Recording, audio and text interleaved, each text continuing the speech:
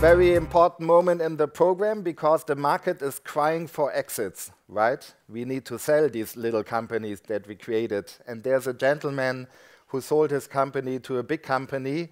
He's called Harry Böhme. He was in Berlin at the Ecosummit in 2011, and now he will tell you the story of Novaled. Okay. Welcome to Ecosummit, Harry. Thank you very much for inviting me again. I'm Harry Böhme. Um, unfortunately, it was not my company. Um, at least not alone. So um, I need to correct that first. Uh, thanks for inviting me again. I have been in Berlin, as you said. Um, Novaled, the OLED growth story. I want to tell you a little bit about the company and also about the exit we, uh, the exit we just uh, made uh, recently. Um, Novaled at a glance, just a few words. We were founded in 2001 as a spin-off of the university, the Technical University of Dresden. Um, turned the company into a stock corporation in March 2006, uh, basically with with the view on the potential exit uh, for the investors. We are a leading provider of customized OLED stack solutions uh, based on the Novaled PIN technology, and I will tell you a little bit about this technology later on. 2012, we had revenues of 27 million uh, after something like 20 million in uh, 2011. We're profitable since 2011. Um, venture capital funded. We had three rounds of financing. The last one of that was in 2009. We have more than 500 patents. I'm sorry. We have more than 500 patents uh, and patent applications in more than 90 uh, different families. Um, 135 people as of today, basically a mix of physics and uh, chemists. Um, our headquarters in Dresden, and we have offices in Korea and Japan. As I said, I need to give you a little bit of technology. Um, what is an OLED? An OLED basically is a substrate, normally a piece of glass. You apply layers of organic material on it, normally by vapor deposition, but also by printing. Um, you apply power to it, electrons and holes move through the two layers, which are here in green and red. They move the through the two layers. They recombine in the emitting layer, and by that emit light. Basically, the only area light source in the world that exists, which is not a punctual light source like an LED or a strip. It's really light generated from an, from an area. So what do we make of it by our technology and by our materials? You see the OLED stack uh, there. We are concentrating basically on the green and on the red layer on this picture. These are the transport layers of the OLED, which transport the electrons and holes. And we are doping these layers by organic material in order to make these layers more efficient. So electrons and holes travel through these layers more efficient with less losses, and by that you have a more energy efficient OLED. Why is an OLED? And basically we are addressing two markets, two applications, display and lighting. The more important currently is the display, and I think it makes sense to explain uh, why OLED is a superior technology over LCD. As you can see there, the green part is the LCD, where you have basically a lot of different layers which make the display, starting with a light source in the back uh, with uh, polarizer filters and other things. And below you have the OLED, where you do not have a separate light source, but you just have the piece of glass. Then you apply the layers of material, and the same medium which creates the light also creates the picture because every single pixel is one OLED, which again generates light in a certain color. And by that, by the combination of pixels, you have your display. So you have a superior picture quality, you have lower power consumption, because if you want to have black, you just switch off the pixel instead of like in an LCD where you where it is still switched on and you block it by, by the filter. You have an increased product lifetime, thinner form factor that's quite sure, faster response time, and in fact the manufacturing is or will be simpler uh, than compared to an LCD. As I said, we are basically targeting two markets, the display and the lighting market. For both market, it's important uh, that we will be that the technology is energy saving compared to existing technologies. But you also have, especially in lighting, and I will come to that, design features which you cannot have with existing light sources today. In terms of revenue, in terms of the business in front of us, as you can see here, um, it is expected that AMOLED, um, active matrix OLED revenues will grow by a factor of three uh, in the next seven years. Uh, as you can see here, based on the products we have here, for example, the curved uh, um, OLED 55-inch TV presented by Samsung Uh, last year and also this year on the IFA. You have the same from LG. As you can see, uh, the full Galaxy telephone range, for example, uh, um, produced by Samsung, is using OLED and is using our product and our material and our technology. Um, but you also have cameras um, using for their displays OLED. You have, for example, other manufacturers like HTC using OLED displays, and again, Samsung with a tablet. Um, this is a brand-new product from Samsung, which you just may have seen, I think, last week. It's the curved uh, Samsung um, Galaxy phone, Galaxy Round. Um, I think it's a good example of what we may expect from using OLED displays in the future. I think we will see a lot of products, and I think the curved display is only one of them. I think we will see a lot of products in the future which are really different from the from the products we have today, and which are basically enabled by the use of OLED. Curved is one example. Foldable, flexible, transparent even will be different examples, and I think we will see a lot of that uh, in the near future. Samsung certainly is a driver of this technology with over 90% of market share in the display production in OLED currently. Lighting, you see three different or even four different assumptions on where the revenue is going. At least all the curves are going up. No one really knows how fast lighting, uh, the lighting industry based on OLED technology will develop. At least no one predict it's going down. I think that's a very important point. So at least we're in the upstream here. But what makes lighting, OLED for lighting more important is I think that it will definitely modify the value chain. As you can see, when we're talking about lighting and when we're talking about the lighting industry, we are always talking about uh, the big three uh, vendors, Philips, Osram, and GE, basically making up the lighting business. In fact, what they do is they own, they kind of own the lamp business, which is the light source. But as you can see from the middle part of the picture, the lamp, the light source business, is only a smaller part of the total lighting business. The biggest part is basically what we call the luminaire, which is the housing of the lamp. This is, uh, as you can see here, $65 billion. This is more than 5,000 companies only in Europe concentrating on the luminaire. And if you go to the right of the slide, you can, you can see that the usage of OLED will basically change this business dramatically. Because in the past, you had a light source, and you built something around it, which is your luminaire, which is your your lighting application. With an OLED, you can basically take four tiles, glass, and you put it into a kind of box like that, and you have your your lighting device. So the lamp is the device. That will definitely change the market, and uh, we are we are there.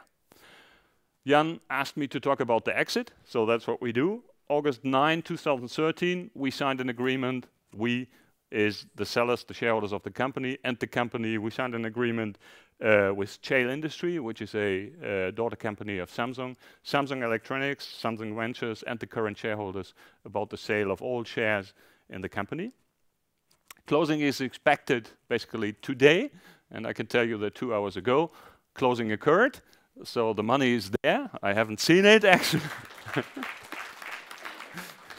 I haven't seen it actually, but uh, I was told it's there.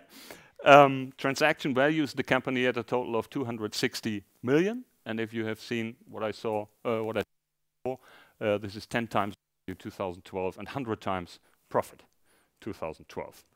Um, success factors, I think this is something we, we really should talk about. Basically, the first success factor is the team. 135 young professionals. The average age in our company of the people is 35, brought up by the managers, which are all above 50. so um Combination, and I think that's very important, a combination of know-how in physics and chemistry.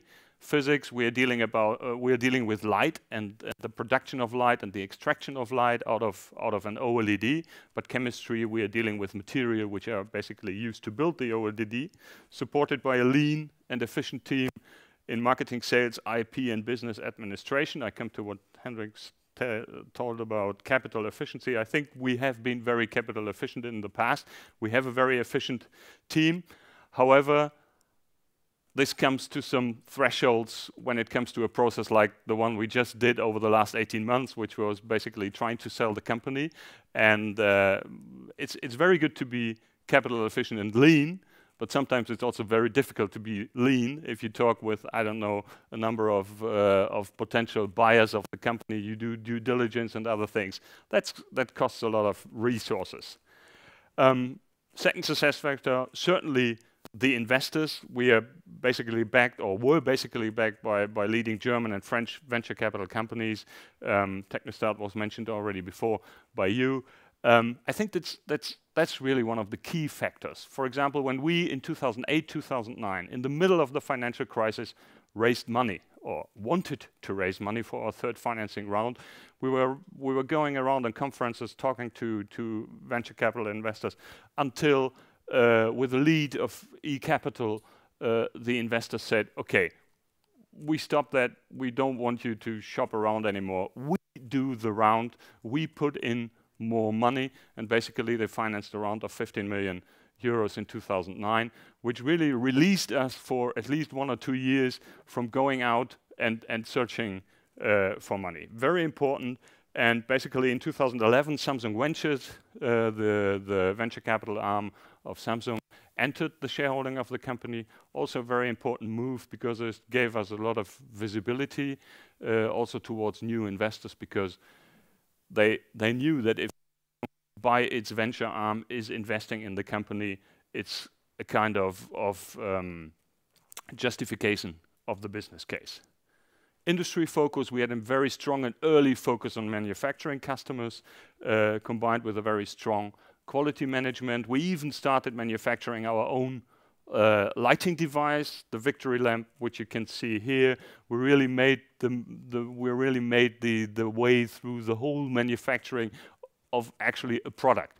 Very important. Very we we learned a lot by that, I can tell. Um, exposure to the financial community, that's mostly me, speaking on numerous conferences over the last uh, 20, 30 years, really uh, um, raising the attention uh, with investors, recognized by a number of awards. These are only three of them. I think it's more than 10 or 15 over the last years. But that really gives you gives you attention in the financial community.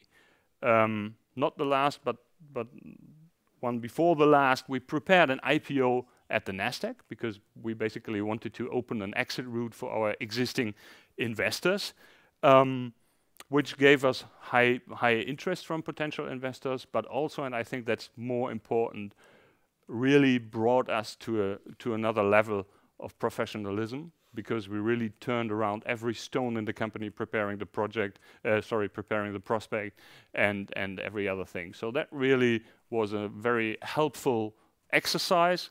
Unfortunately, it was very expensive.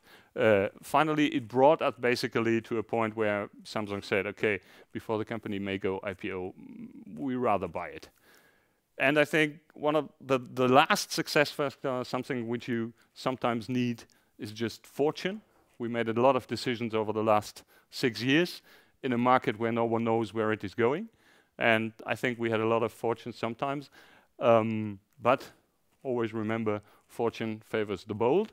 So obviously we did a lot of things right, and I think uh, that finally led to this uh, successful um, exit.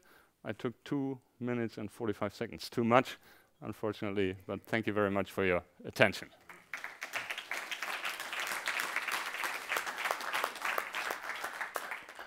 Do you have a question for Harry? Okay, Henrik. Yeah. So, uh, first of all, congratulations. I mean, it's fantastic news, and I think you worked really hard to get here. Um, it's great news for the whole industry. Uh, I'm very pleased that you're talking about it. Um, one question that I think a lot of startup has is you took in Samsung, Samsung Ventures as one of your investors relatively late in the day. And I think there are a lot of talks and a lot of nervousness about bringing in people who are potentially the acquirer of your business. Can you talk about your thinking process going through that? I think it was the the the point which made us accept uh, that was that, as I said before, the venture arm of the most important um, manufacturer in the field, market share of more than 90 percent, investing into your company is a great validation of what you did. So I think that was very important. That was really the point where we and also where the shareholders said, yes, that's the right thing to do. We then negotiated, and that was another precondition of our shareholders, to say we're definitely limiting uh, the shareholding of corporate investors, and one of them was uh, Samsung in that field, uh, or from that field to an absolute maximum of 10%, which basically allows you to prevent uh, blocking other uh, um, other um, investors to come into the company.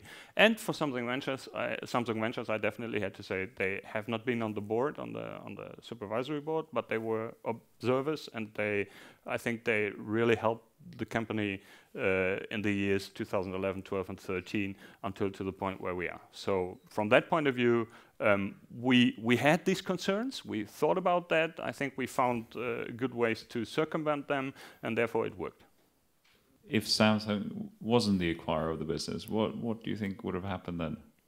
Because I think that that's I think what in people's head. So you know, it's one thing if you if you're on the clear path that Samsung Samsung mm, has ninety okay. percent mm. of the, the your I market. Think, I think for us that was not the problem, as I said before, we we were preparing an IPO at Nasdaq, and we have uh, we have uh, continued to work on that. We we were ready basically in the middle of 2012, and then the Nasdaq went down due to the Facebook uh, IPO.